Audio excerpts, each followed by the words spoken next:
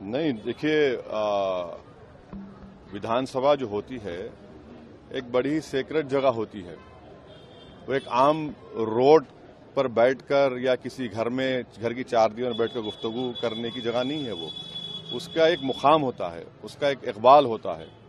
और वो एक प्रदेश के मुख्यमंत्री हैं, वज़ीर आला हैं, और वहाँ पर वो इस तरीके से, जिस तरीके से उन्होंने कहा है, बिल्कुल ही एक वलगर किस्म की लैंग्वेज थी।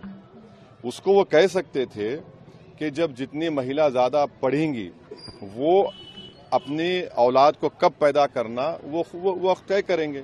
मगर बजाय उसके इस तरह से बिल्कुल ही एक वलगर तरीके से उन्होंने जिस तरीके से उसको डिस्क्राइब किया है अपने एक्शन से अपने अल्फाज से ये बिल्कुल ही सही नहीं है। भाई कम से कम आप इस बात का तो लिहाज रखिए कि आप कहाँ पर खड़े होकर बोल रहे हैं। वो बिहार की विधानसभा है। वो कोई सिनेमा थिएटर नहीं है कि लोग वहाँ पर कोई पिक्चर देखने आ रहे जिसमें सर्टिफिकेट अडल्ट दिया गया है। ये कोई रोड पर आप नहीं बैठे थे।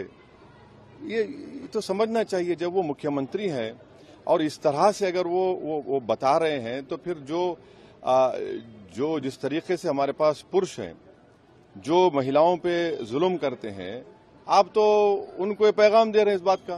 क्या मैसेज दे रहे हैं आप? भाई आप कुछ भी आप जो भी आप बोलेंगे या प्रोग्राम करेंगे मकसद तो ये होता ना कि भाई महिलाओं को ताकतवर बनाया जाए, उनको शिक्षा मिले, उनको समाज में और उनको ताकतवर हो, मुकाम मिले।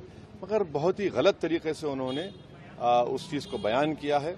मैं तो डिमांड करता हूँ कि नीतीश कुमार विधानसभा में अपने उस अल्फाज को वापस लें।